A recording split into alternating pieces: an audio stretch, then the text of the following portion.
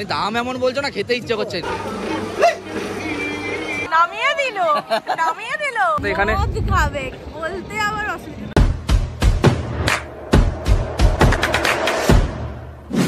Hello ji good morning good morning from Digha আগের ব্লগটা যদি তোমরা দেখে থাকো তোমরা জানবে যে আগের ব্লগে আমরা এসেছিলাম হচ্ছে বাড়ি থেকে দীঘা এসে হোটেলে স্টে করেছিলাম। আর আমাদের প্রোগ্রাম হচ্ছে মাত্র দুদিনের। তারপরে আমাদের আবার ব্যাক টু হোম আজকে বেজে গেছে প্রায় দশটা সাড়ে দশটার মতো। আকাশের রোদের তাপ ও প্রখর এই অবস্থাতে সকাল থেকে আমাদের ব্রেকফাস্ট কিছু হয়নি। সিনারিটা দেখে, এই দৃশ্যটা দেখে তোমরা বুঝেই গেছো যে আমরা এখন প্রায় বিচের ধারে চলে এসেছি। বিচে নামার আগে পরিপোজ করব এইখানে আমরা বসেছি, আর দাদার দোকান হচ্ছে এইটা। তো এখানে আমরা ব্রেকফাস্টের জন্য বলেছি ডিম টোস্ট তার সাথে বাটার টোস্ট হ্যাঁ। ও, তুমি রান্না বান্না করো? ফাইনালি আমরা এখানে বসে ব্রেকফাস্টটা সারি, তারপরে যাব হচ্ছে বিচে আগের ব্লগে আমি ঠিক বলেছিলাম ওরা পশ্চিমবঙ্গের হাফ লোক মনে দীঘাতেই চলে এসছে। আর এরই সুযোগ নিয়ে মোটামুটি এখানে দাম দর কিন্তু হেভি চরম শিকর একদম। সবাই যখন বাটার টোস্ট আমার বউ তখন ডিম ঢুকবে কারণ কি? এমনি আমার ভালো লাগে স্পাইসি খেতে আমার বেশি ভালো লাগে। ওকে তো দাদাকে বললাম আমাদের দুপুরের লাঞ্চটা করে দেওয়ার জন্য। করে দেবেন তো মোটামুটি? হ্যাঁ। দুপুরে খাওয়া দাওয়া কি কি রাখবে? ডাল থাকবে আলু ভাজা থাকবে মাংস থাকবে। মাংস থাকবে তাই তো? অ্যাকচুয়ালি যাওয়ার মতো কোনো জায়গা নেই। মানে এখানে দীঘায় খেতে হবে বা দীঘাতে কোথায় খাব না খাব সেই জন্য ভাবলাম দাদা যখন আমাদেরকে অফার করল যে দুপুরবেলা লাঞ্চের জন্য এখানে হচ্ছে চিকেন রাইস মানে এই ভাত টাতগুলো একটা প্লেট নেবে হচ্ছে একশো কুড়ি টাকা। তো ঠিকই আছে। তো আমরা আপাতত সমুদ্রের দিকে যাব।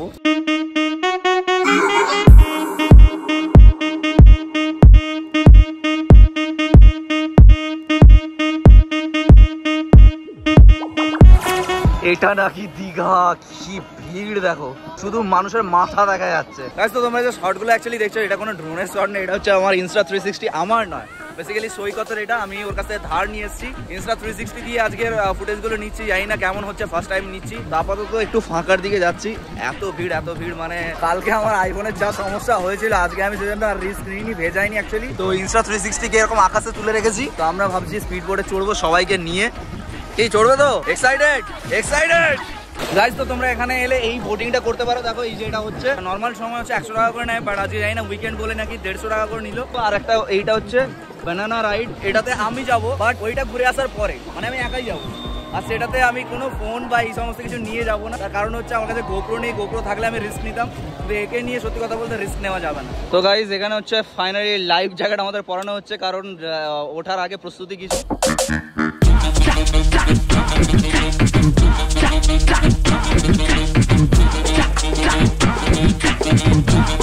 গাইজ তো ফাইনালি আমরা এখন গেছি আমাদের বোটে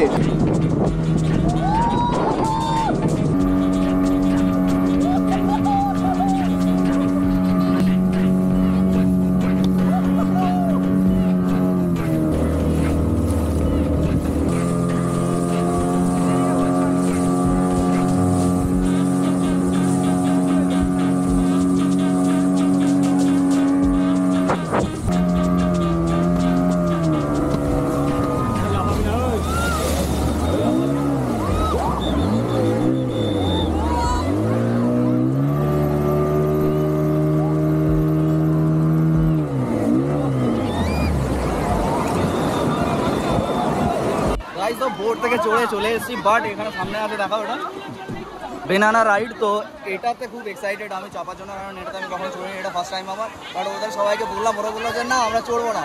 ভয় করছে। তো এখানে এরা সবাই আছে তো এদের সাথেই আমি চড়বো।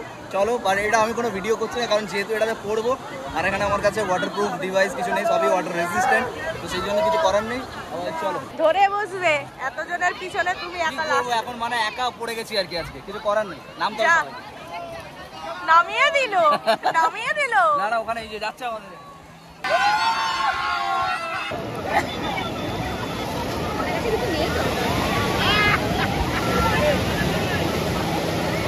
আমরা এখানে মোটামুটি চারজন এখানে দাঁড়িয়ে আছি আর আমাদেরকে ছেড়ে দিয়ে ওই যে ব্যানানা ওদেরকে আবার ফেলে দিয়েছে। ওরা ওখানে জলের মধ্যে ওইখানে ডুবছে ওদেরকে ব্যানানা থেকে পুরো ফেলে দিয়েছে। কেমন লাগল ব্যানানা আমার আমার আমার ফার্স্ট টাইম এক্সপিরিয়েন্স করলাম। আমি এখন ভাবছি যদি গোপ্রোটা আনতাম তাহলে হয়তো তোমাদেরকে পুরোটাই দেখাতে পারতাম। বাট যেহেতু তোমাদেরকে প্রথমেই বলেছি ওয়াটার প্রুফ কিছু ডিভাইস ডিভাইস আমার কাছে নেই। তো এবার আমি তোমাদেরকে দেখাবো উদয়পুরের কাহিনী। চলো। আর এখানে এই বাচ্চাটাকে আমরা দেখছি দেখো কতগুলো কতগুলো স্টার পিসও জোগাড় করেছে এই দেখো। আমাদেরকে একটা দিবি? দিবি একটা? হ্যাঁ বলেছে। না একটা নিয়ে নে। ওই দেখো দাদা আরও দিচ্ছে একটা নিয়ে নে। না না কেমন লাগছে স্টার পিসটা এই ফার্স্ট টাইম দেখেছিস? আজকে টেম্পারেচার কত জানো? টেম্পারেচার সবসময় সংখ্যায় মাপতে নেই। বোতল বলে দিচ্ছে। গাড়ির পিছনে এটা ছিল। জাস্ট পিছনের যে ওই ইয়েটা মতো থাকে? পার্সেল ট্রেটা থাকে। ওইখানে ছিল জাস্ট বোতল। এটা একটা ভেঙেছে। দেখা ওইগুলো এটা পুরো রোদে পুরো এ মানে হয়ে গেছে। তোবড়ে হ্যাঁ। গেছে। তোবড়ে গেছে। লিটারালি এত মোটা। এটা গেছে তো ফাইনালি আমরা উড়িষ্যাতে ঢুকে গেছি মানে একদমই বর্ডার যেটা ওয়েস্ট বেঙ্গল আর উড়িষ্যার বর্ডার সেটা হচ্ছে উদয়পুর। উদয়পুরের বিচে চিংড়ি মাছ খাব চিংড়ি মাছ চিংড়ি মাছের কষা কষা উফ জিভে জল আসছে। আর সামনে দেখো কত গাড়ি। গাড়ি আমরা এই পার্কিং লটে পার্ক করে দিয়েছি যেখানে গাড়ির গুনে শেষ করা যাবে না। দেখো বাস পরিষ্কার কথা তোমাদের একটাই কথা ক্লিয়ারলি বলতে চাই এখানে যদি ভাবো যে ফ্যামিলির সাথে আসবে না এটাকে ডিস্টেন্স মেনটেন করে চলো। এখানে ফ্যামিলির সাথে আসতে পারো বাট একটুখানি আলাদাভাবে থাকতে হবে কারণ এখানে সব কিছুই হয় মানে মাইন্ডেড হয় দেন ওকে ওকে মানে এখানে তোমরা সবই পাবে ওপেন পাবে মানে একদম সবাই তোমার সামনেই বসেই খাবে। তার সাথে এখানে মদ খাবে বলতে আবার অসুবিধা মদ খাবে। এস এইসব হুম তবা তবা আমরা খাব স্পেশালি মদ মদ খাব না আমরা খাব না। আমরা ডাবের জল খাব। আর মোমো খাব। এখানে আমাদের এসে গেছে পুরো একদম কষা কষা করে এক চিংড়ি মাছ। বলছি পমফ্রেট মাছ আছে? কমপ্লিট শেষ হয়ে গেছে। পমফ্রেট শেষ হয়ে গেছে? ভোলা আছে। ভোলা আছে ভোলা কত করে নিবে? ভোলা একশো কুড়ি টাকা করে পিস তুমি দাম এমন বলছো না খেতে ইচ্ছে করছে নি। গ্রেভিটা দেখো এইসব খাবার যদি তোমরা কন্টিনিউয়াসলি দুদিন খাও পেটের অবস্থাও খারাপ হয়ে যাবে। চারিদিকে এত আনহেলদি খাবারের মতো আমরা নিচ্ছি। হেলদি খাবার? দেখো। যেখানে আছে সাদা জামরুল শশা লেবু। গাইস এখানে আমার গাড়ি পার্ক করে দিয়েছি। তো এটা বেসিক্যালি হচ্ছে নিউ দীঘা আবার উদয়পুর থেকে আমরা নিউ দীঘাতে এসেছি, কারণ আমাদের দুপুরের লাঞ্চটা এখনও করা বাকি আছে। তো দুপুরের লাঞ্চের মেনু তো আমাদেরকে আগেই অলরেডি বলে দিয়েছি। তো আবার ওই দোকানটাতে যাব, কিন্তু দোকানটা কোথায় ছিল অ্যাকচুয়ালি ভুলে গেছি। রোদের টেম্পারেচারের কথা তোমাদেরকে আগেই বলেছি। এখন সত্যি কথা বলতে মানে রোদে আর পারা যাচ্ছে না বাট আমরা কিন্তু সব জায়গাতে অন টাইম আছি। মানে এখন বাজে হচ্ছে ঘড়িতে দেড়টা। দেড়টার সময় লাঞ্চ আমরা নেচারালি করে থাকি, তো আজকেও আমরা দেড়টার সময় লাঞ্চ করব। খাওয়ার মেনুতে ভাত তো আছেই, তার সাথে পড়ে গেছে মুচমুচে আলু ভাজা, আর ওখানে হচ্ছে পেঁয়াজ আছে, আর ডাল আছে, তাই তো? ডাল আছে, আর তার সাথে হচ্ছে আমাদের চিকেন গাইজ তো আমরা এখানে আমাদের খাওয়া দাওয়া কমপ্লিট করে নিয়েছি।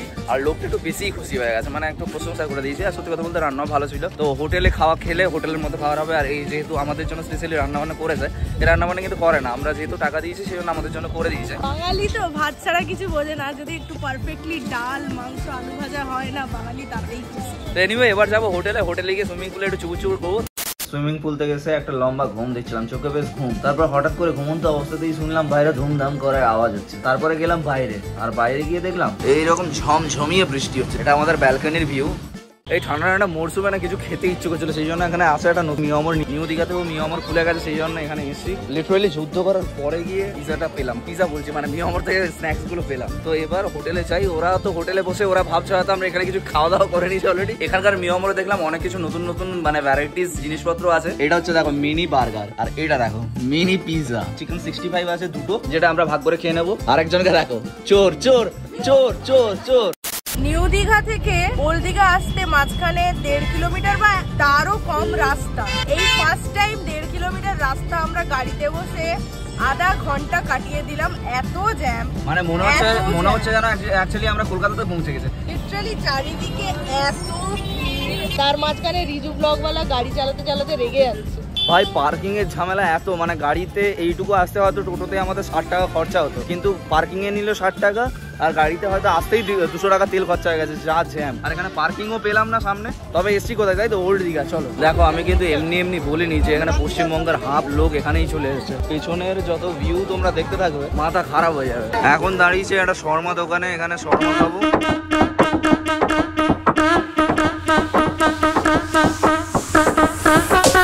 মনে হচ্ছে যেন চিকেন টিক্কা রোল খাচ্ছি। শর্মা না হোক চিকেন টিক্কা রোল খেয়েই এখন মনের স্বাদ মেটাই ফুল দীঘাতে এসে একটা জিনিস তো ইন্টারেস্টিং দেখতে পেলাম যেটা হচ্ছে এই ধরনের টুপি পরা আইসক্রিম দেখলেই তোমরা বুঝে যাও যে কি। দাদা ওখানে নিজের হাতের ক্যালমা দেখা ক্যালমার শিকার হবে। আই হোপ এবার আমাদের বাড়ি চলো। ম্যাডাম গো হ্যাড এবার দাদার হাতের দাদার হাতের ক্যালমা কিন্তু শুরু হবে এবার। রেডি তো? চলো। জিজ্ঞেস করে নাও।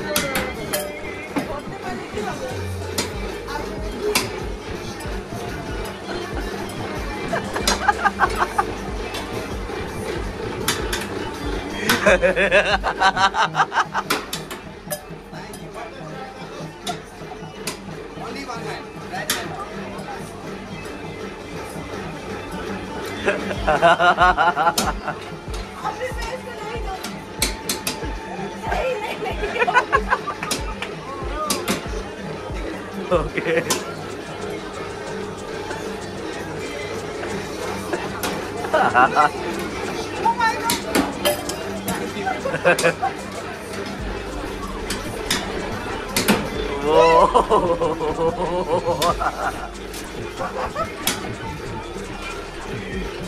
এই না, আর নষ্ট করো না। এইবার এই করো না।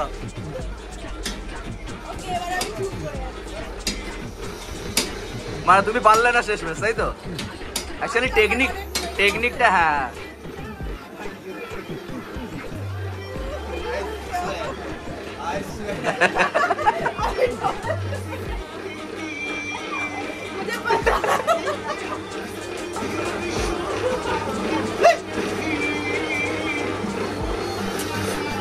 ওকে ওকে ফাইনালি চলো। দেখো আজ অব্দি সব এই তুর্কিশ আইসক্রিমের হচ্ছে খেলা দেখিয়েছে। আমি টেস্টটা কেমন সেটা তোমাদের বলব। টেস্টটাও ভালো। ওকে গাইস তো আরও হয়তো ব্লগ কিছু করতাম বাট আর হবে না, তার কারণ হচ্ছে ও একাই দশ মিনিট খেয়ে নিয়েছে। আই হোপ সারাদিনে যা ব্লগ তোমাদের দেখতে ভালো লেগেছে। আমাদের সবাইকে যদি এত অব্দি সহ্য করে থাকো, তাহলে বস কি করছ? ভিডিওটাকে ভালো লাগলে লাইক করো কমেন্ট করো, আর দেখা হচ্ছে আবার নতুন একটা ফ্রেশ ব্লগ নিয়ে। স্টেসে বি হ্যাপি